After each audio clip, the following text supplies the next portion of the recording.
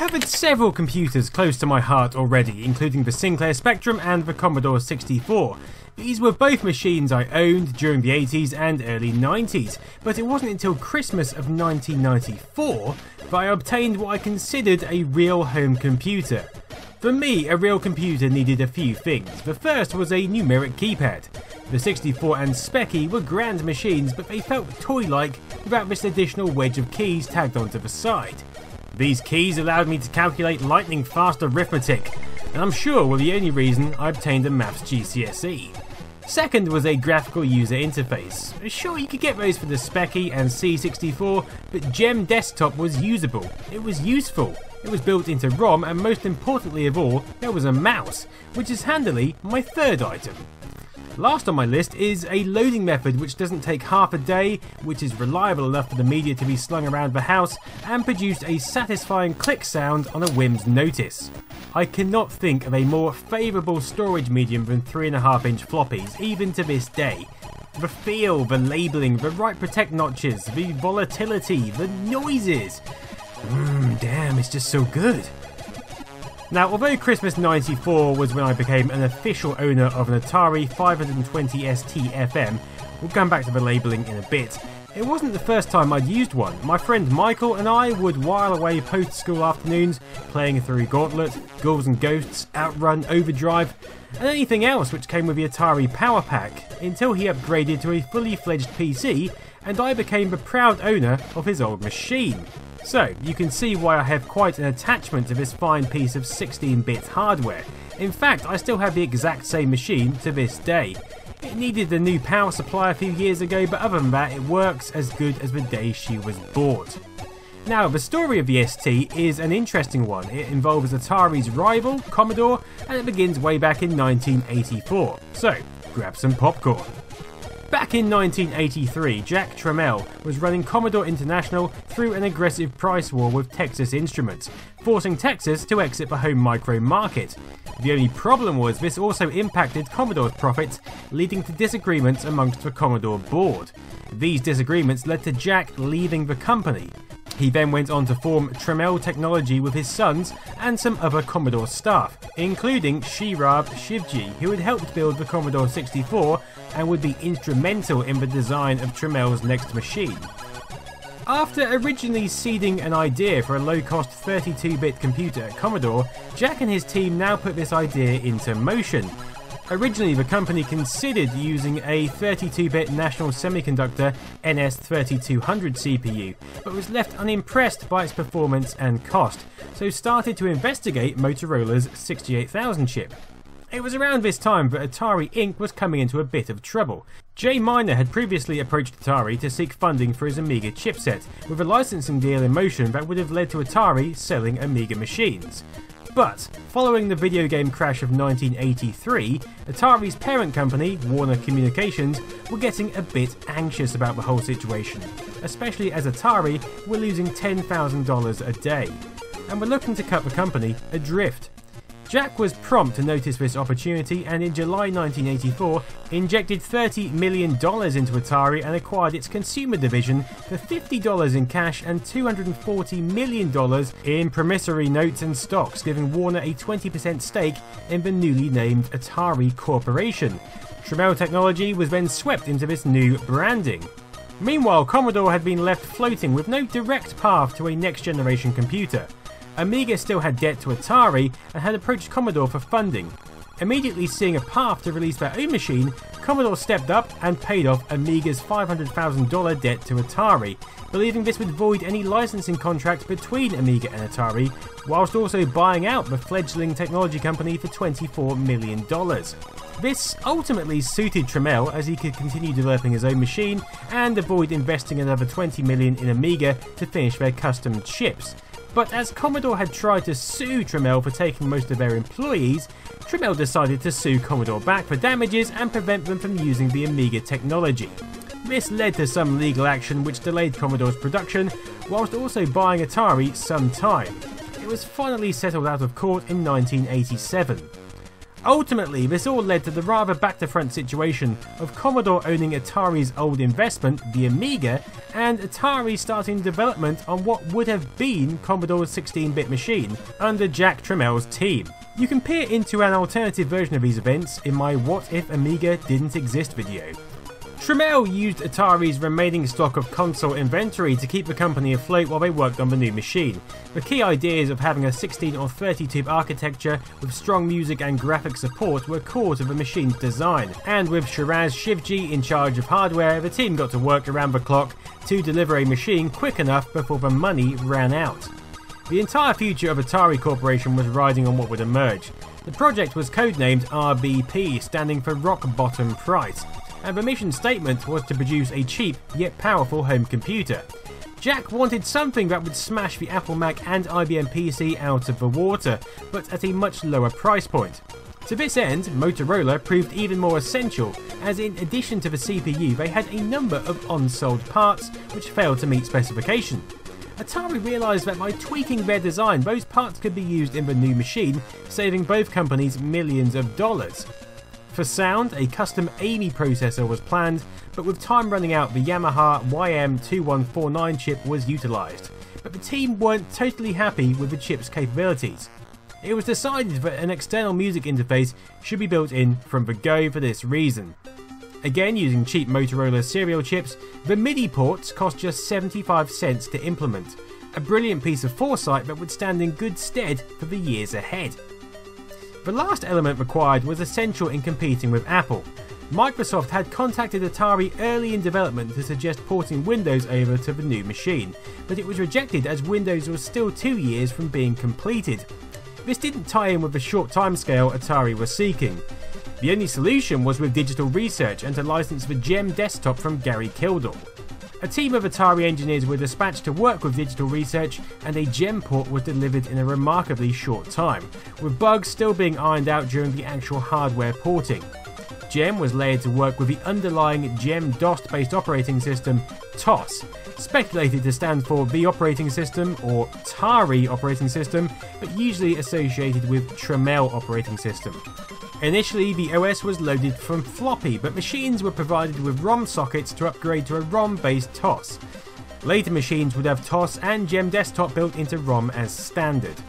Over at the competitors table, Commodore sought a specialist UK team to create their ROM based Amiga operating system, Kickstart, and user interface, Workbench, which was always supplied on separate floppies.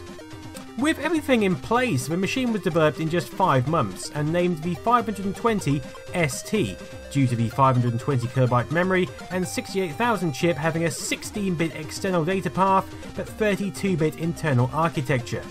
Atari also considered releasing 128K and 256K versions named the 130ST and 260ST, but it was decided there would be too little free memory with the OS loaded into RAM.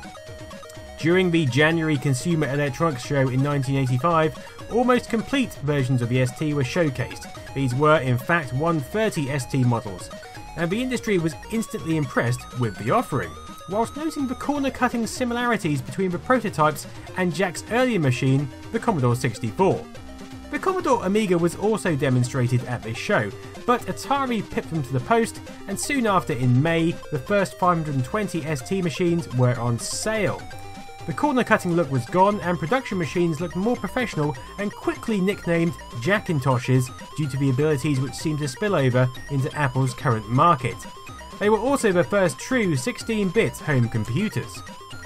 Even though Amiga had a two year head start on development, Atari had pushed their groundbreaking machine out over a month ahead of Commodore's product, and with the cheaper price point of $799 with monochrome monitor and $999 for colour compared to Amiga's $1,295 with an additional $300 on top for a colour monitor. Atari initially gained the upper hand, and even though the ST lacked the custom Amiga chips found in the 1000, it still had a few tricks up its sleeve, which made this $799 price point even more attractive. The first was a flicker free high resolution mode offering 640 by 400 pixels, and was incidentally the only resolution the monochrome monitor operated at. This resolution attracted business and publishing use, allowing the ST to walk tall in the Macintosh's arena. The ST was so well optimised that you could even emulate Mac software at a faster rate than it ran on the base Apple hardware. The second was those MIDI ports which immediately thrust the ST into the world of music, providing musicians a low cost and effective route into the sequencing and recording world, but we'll get into that in more detail later on. The third trick, given the GEM's roots of MS-DOS compatibility, was that the ST could read and write MS-DOS formatted disks. Combined with the ST's high performance base specifications, the machine proved to be truly versatile in a number of situations, both in home and professional use, and this led to over 50,000 machines being sold in the first six months alone on both sides of the Atlantic. At this time, Tramiel made the company public, and shares began to sell for triple their original price in just a few months. The ST had truly saved Atari from the dust cart in an amazingly short space of time. To bring Atari's old 8-bit line into synchronization, the XE series was also launched this year, giving the older 800XL hardware a pleasing ST-like aesthetic. This provided a more cohesive and unified range of products designed to show the company had progressed into another era of development.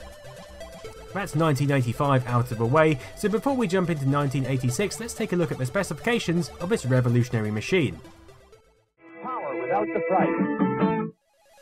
Designed by Ira Velinsky, look-wise the original 520 ST is a compact design, but that's mainly because the power supply and floppy drive are external.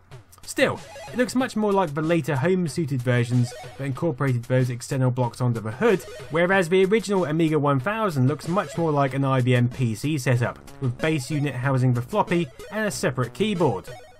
On the back of the ST we find a multitude of ports from left to right, a reset button, power switch, power connector, MIDI out, MIDI in, 13 pin DIN monitor port, a Centronics printer port, an RS232C serial port, a 14 pin floppy port, an ACSI DMA port for hard drives and other high speed peripherals. On the left side we have a 40 pin cartridge port for 128KB ROM cartridges, whilst over on the right we have the mouse and joystick connectors. The ST shipped with its iconic wedge shaped mouse. Underneath that slanted top grille, we find the power of the ST. This comes in the guise of the Motorola 68000 CPU clocked at 8MHz, 512KB of RAM, the Yamaha YM2149 sound chip capable of 3 voice square waves plus 1 voice white noise, the display chip, capable of a low resolution 320 by 200 at 16 colours, medium res at 640 by 200 at 4 colours, and high res monochrome mode of 640 by 400.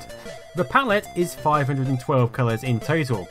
The ST also has various custom chips from the memory management unit to the video shift register, which squeeze a high level of performance out of the commercial components. The external floppy was originally single-sided, capable of storing 360 kilobytes, with later drives double-sided 720 kilobyte jobs. Now, I find it very hard to talk about the ST without bringing the Amiga also into the equation, but technically they're broadly similar.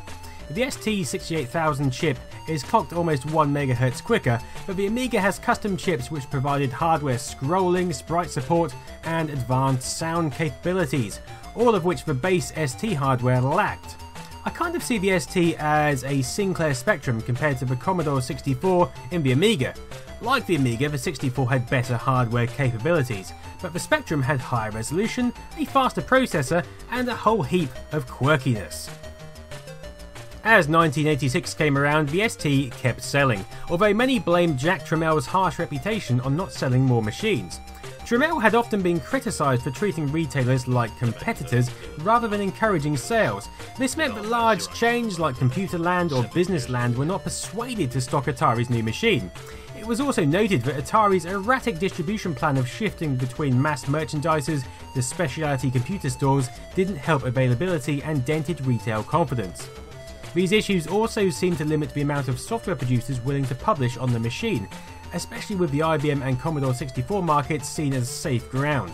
But still, Atari managed to turn around their reputation, and slowly producers started writing for the machine more and more, with companies like Spinnaker and Lifetree Software switching to the ST as their highest priority.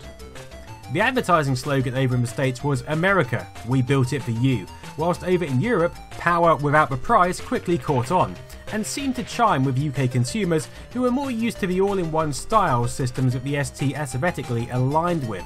The lower price also worked much better over here with IBM compatibles simply seen as professional business machines against the tide of low-cost home micros we'd become accustomed to. But arguably one of the standout changes to the playing field was the release of Dungeon Master in 1986. Games had already been released for the ST, many by Atari themselves, including Star Raiders, Missile Command, and Asteroids, but Dungeon Master made the gaming community stand up and take some serious notice. The sprawling first person RPG oozed atmosphere and picked up a plethora of awards before influencing a line of copycat RPGs up until this very day. In 1986, Atari also launched some revisions to the ST line. The first was the 1040 STF, a 1MB ST with a built-in floppy drive and power supply. The 520M featuring a TV modulator but still an external floppy drive followed, quickly superseded by the 520 ST-FM, effectively replacing the 520 ST at the same time, incorporating a TV modulator along with a power supply and floppy, allowing the machine to quickly enter the home market in profound style. To accommodate the floppy drive, joystick and mouse ports were shifted to the somewhat awkward position underneath the unit. I mean, it looks quite neat, but it's a pain which usually results in frantic wobbling and subsequent connection issues. The ST-1, later renamed the Mega ST, also debuted at Comdex, built in a style much more reminiscent of the Amiga 1000 and providing room for a 20MB hard drive upgrade. The Mega ST, along with the Atari laser printer and the hard drive, could actually be bought for less than an IBM laser printer by itself, quickly making it a very attractive option for desktop publishers and graphic artists alike, especially with professional packages like Calamus and First Word Plus quickly arriving on the scene. The ST had successfully infiltrated numerous markets, but it's arguably the music and games market where most headway was made. Let's start with the games. Over in Europe, particularly the UK and France, the ST-FM was heavily marketed as a games machine. Along with the Amiga, it was one of the most advanced for gaming in this era. This was no more evident than with the Power Pack, which bundled with every computer shipped from 1989 onwards. The Power Pack featured 20 of the most popular games for the ST, offering staggering value for money on a machine which already significantly undercut its competitors. Standout titles on this gigantic disc collection include Gauntlet 2, Afterburner, Starglider, Bomb Jack, Predator, and Super Hang On to name just a few. And the inclusion certainly outgunned the offerings on any other gaming machine at the time. The Discovery Pack was one of the best sellers, featuring Jean Claude Van Damme in the advertising and box art, initially retailing for £299 over in the UK. In fact, the marketing was so good that Atari was selling 75% of their computers in Europe, so you might expect that things were looking rosy. But even though the Power Pack had been a mighty success, it was also, in part, the machine's downfall. You see, supplied with so many games from the go, owners of the ST felt less need to go out and buy further software. I mean, games were still selling, just not at the rate they had done in the past. To combat this, many producers jumped ship and started developing directly for the Amiga, which was beginning to gain more support than the ST, thanks to the launch of the Amiga 500 in 1987. So whereas before many development houses would produce a game on the ST and then port it over to the Amiga, games started being written directly on the Amiga, taking advantage of the Amiga's hardware. Because of this, the process of porting back to the Atari became a lot more arduous, leading to many titles just not being released on the ST format. To try and combat the Amiga's additional grunt, the STE was released in late 1989, in both 1MB and 512K versions. The E stood for enhanced and featured an increased colour palette of 4096 colours, Genlock support, a blitter chip providing advanced sprite and graphics support, 2-channel digital sound with PCM 8-bit sampling, two enhanced joystick ports located pleasingly on the left hand side, and they were actually compatible with the Atari Jaguar pads, and SIMM memory modules to allow easier RAM upgrades. It's evident from the spec that it was aimed at competing with Amiga.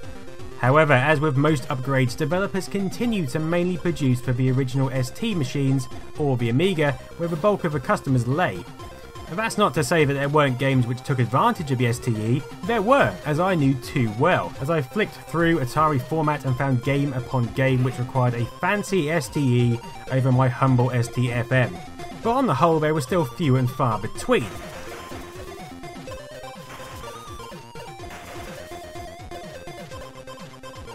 Many high regarded individuals developed on the ST, including Peter Molyneux, Doug Bell, Jeff Minter, along with numerous demo scene coders who regularly took up the task of proving that anything the Amiga could do, the ST could do better. And I mean, the ST could do some pretty fancy stuff when pushed, with some ST games even beating their Amiga counterparts. But there was also a lot of feeling among publishers that software piracy was rife and impacting their sales. Anyone who has heard of the Medway Boys should be familiar with the dubious label discs crammed with various commercial games somehow on a single floppy. This apparently seemed less of an issue on the Amiga, with Amiga versions of games selling twice as many as the Atari format in the first few weeks of release. There were even pirate bulletin board systems distributing software for free, which seemingly wasn't as rife on the Amiga and definitely wasn't a problem on the consoles. This was another reason publishers jumped to other formats. But conversely, popular programs such as GFA Basic, Fast Basic, and STOS created a large community of homebrew and startup coders who produced some impressive games for the machine, especially in the latter part of its life. Other machines, such as the Mega STE and Atari TT, were also launched to squeeze into the professional markets and replace the earlier Mega models. The TT is the higher end of these, featuring the 32MHz Motorola 68030 processor, but it was met with limited success. Despite all of this, there was one area that the ST would excel in from the go, and is still used for to this day. Music. Most people assume that the ST's sound chip must be amazing, but the Yamaha AY chip is actually pretty modest. In fact, it's very similar to the sound chip found in the Sinclair Spectrum 128K models, and the Amiga will nearly always blow it out of the water in chip-tune standoffs. The real power of the ST as a music machine comes in the form of those MIDI connectors we spoke about earlier. It wasn't long after the machine's launch that people realised the scope of a computer as a MIDI machine. Programs like Cubase, Notator, and Logic Pro arrived on the scene, allowing MIDI instruments to be recorded, arranged, and edited with ease. Because MIDI was built into the hardware from Go, the ST had very low latency response times, even compared to more expensive professional equipment, leading to a multitude of musicians making use of the equipment, including the Utah Saints, 808 State, Fatboy Slim, Jean Michel Jarre. I'll just set that organ off. You put that organ in already. Do you always use the mouse to put the notes into the computer? No, not at all. What Madonna, and White Town's Your Woman, which burst out of nowhere in the mid 90s and was produced almost entirely on the ST by some chap in his bedroom.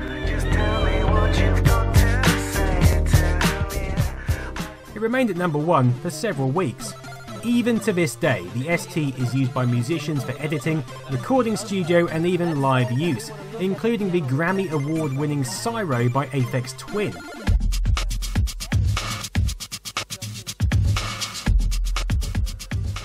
Along with the machines already discussed, there were other spin offs like the Stacy, a portable version of the ST, released in 1989, powered by C cell batteries, and with a life of approximately 20 minutes. Upon realizing this, Atari simply glued the battery compartment shut and sold the machine as a compact desktop. But at $2,299, it was a bit too much to swallow, selling 35,000 units in its lifetime. There was also the ST Book, a laptop version of the ST without a backlight or indeed a floppy drive. It was designed to take flash memory for storage instead, but released in 1991, only sold just over a thousand units before being discontinued. The 4160 STE, featuring 4MB of RAM, was never released, but badges were sent to dealers so that upgraded 1040 STE models could be shipped under the 4160 moniker. These are incredibly rare to come by nowadays, but you can always get a label printed off for yourself. In 1992, Atari produced the Falcon, a follow up to the ST, which was rushed through development so quickly that its case wasn't ready, leading to the coloured ST case we can see here. Performance wise, the Falcon is a pretty mean machine, beating the Amiga 1200 on almost all of its specifications. Based on the Motorola 68030, running at 16MHz, sporting a digital signal processor, and bundled with a new improved multi-TOS operating system, it was a large step up from the ST. But by this point, Motorola had lost the CPU battle to Intel, and even their higher end chips like the 68040 just couldn't keep up with the power and crucially the price of IBM compatibles. This is ultimately the downfall of all these machines, whether it be Amiga or Atari. Atari discontinued the Falcon NST in 1993, shifting to focus entirely on their new 64 bit Jaguar console. But due to difficult architecture and the promise of powerful CD based 3D consoles on the horizon in the guise of the PlayStation and Saturn, publisher support was lacking, and Atari ceased manufacture in 1996, with the company merging with the hard drive manufacturer JTS Incorporated shortly after. Little was done with the Atari name until it was sold to Hasbro and finally Infogrames in 2001, where we see the branding on software titles such as Roller Coaster Tycoon World. Commodore's Amiga machines managed to hold on a little longer with the hardware and third party support edge they had accrued in earlier years. The Amiga 1200 was discontinued in 1996 after a brief relaunch from Commodore's new owners, Escom.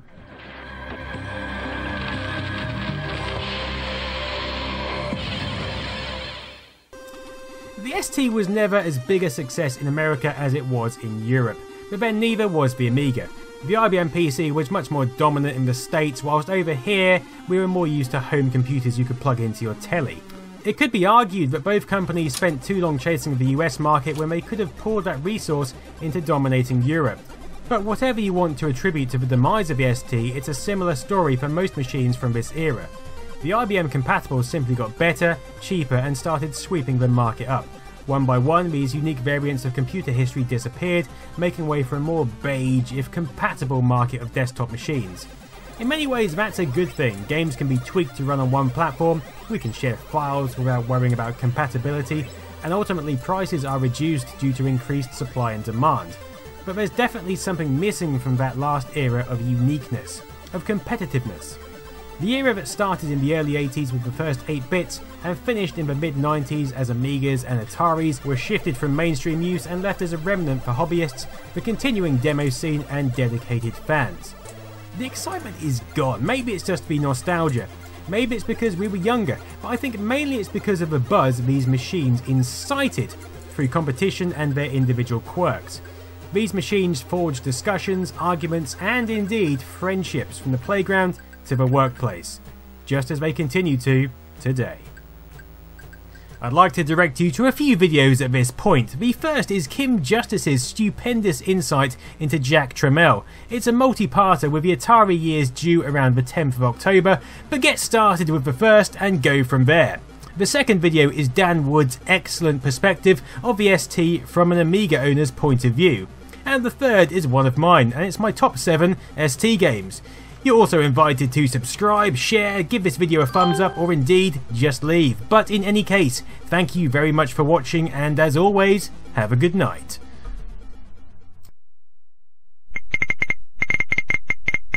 Thank you for watching. Thank you to all my supporters and patrons.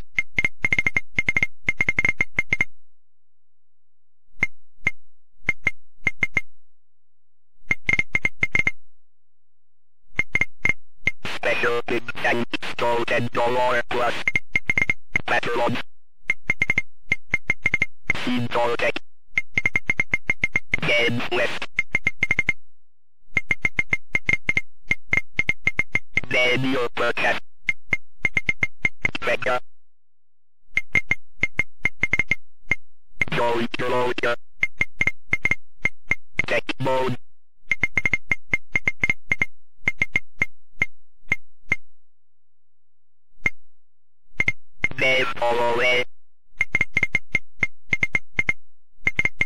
Daniel Bell. Lord Bodinka.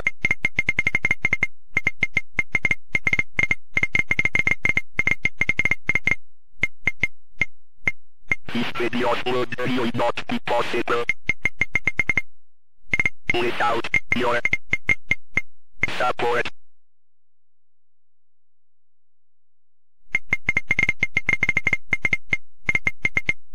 See you on the next video. Atari out. Bye.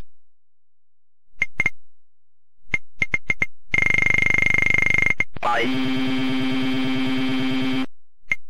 At night. At.